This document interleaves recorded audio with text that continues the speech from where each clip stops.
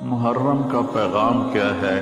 اللہ پر جان دے دینا۔ محرم ہمیں کیا یاد دلاتا ہے؟ میرے نبی کے نواسے نے اپنی پوری اولاد ذبح کروا دی، ظلم کا ساتھ نہیں دیا۔ تو میرے بھائیو، اللہ کے واسطے نہ ظالم بنو، نہ ظالم کا ساتھ رشوت، چوری، بدکاری کے اڈے، چند پیسوں کے پیچھے ملک کے ساتھ غداری، یہ سب ظالم۔